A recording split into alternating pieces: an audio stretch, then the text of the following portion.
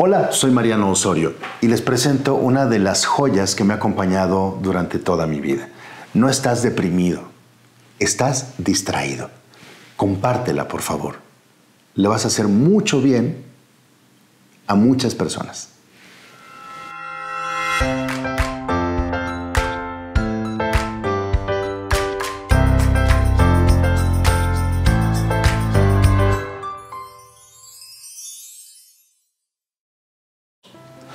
No estás deprimido, estás distraído. Distraído de la vida que te puebla. Tienes corazón, cerebro, alma y espíritu. Entonces no sé cómo puedes sentirte pobre y desdichado. Distraído de la vida que te rodea. Delfines, bosques, mares, montañas, ríos. No caigas en lo que cayó tu hermano que sufre por un ser humano, cuando en el mundo hay casi 8 mil millones. Además, no es tan malo vivir solo. Yo la paso bien decidiendo a cada instante lo que quiero hacer y gracias a la soledad me conozco.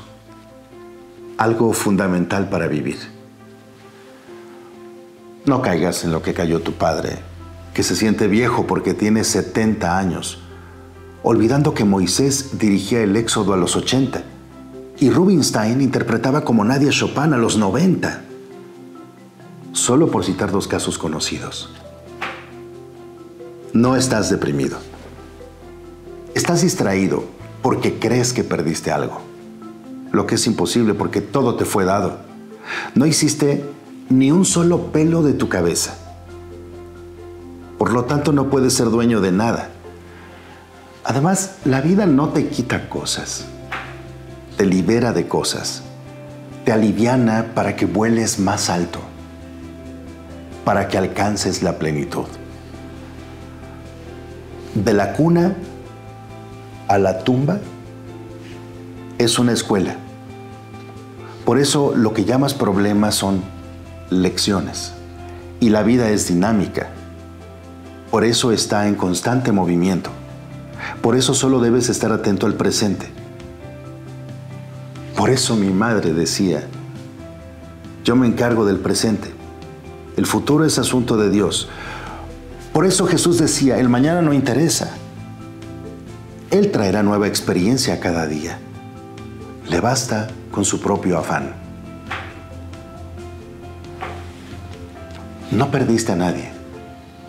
El que murió simplemente se nos adelantó, porque para allá vamos todos.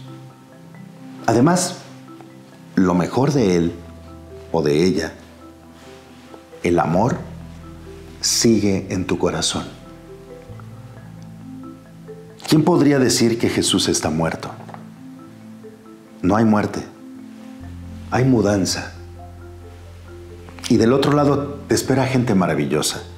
Gandhi, Miguel Ángel, Whitman, San Agustín, la Madre Teresa, tu abuela, y mi madre, que creía que en la pobreza se está más cerca del amor, porque el dinero nos distrae con demasiadas cosas y nos aleja, porque nos hace desconfiados. No encuentras la felicidad ni es tan fácil. Solo debes escuchar a tu corazón antes de que intervenga tu cabeza que está condicionada por la memoria y complica todo con cosas viejas con órdenes del pasado, con prejuicios que enferman, que encadenan, la cabeza que divide, es decir, empobrece, la cabeza que no acepta que la vida es como es, no como cree que debería ser. Haz solo lo que amas y serás feliz. Y el que hace lo que ama está benditamente condenado al éxito que llegará cuando deba llegar porque lo que debe ser, será, llegará naturalmente. Y lo que es para ti es tuyo, y nada ni nadie podrá quitártelo. No hagas nada por obligación ni por compromiso, sino por amor. Entonces habrá plenitud, y esa plenitud hará que todo sea posible, y sin esfuerzo, porque te mueve la fuerza natural de la vida, la que me levantó cuando se cayó el avión con mi mujer y mi hija, la que me mantuvo viva cuando los médicos me diagnosticaban tres o cuatro meses de vida. Dios te puso un ser humano a cargo y eres tú. A ti debes hacerte libre y feliz. Después podrás compartir la vida verdadera con los demás.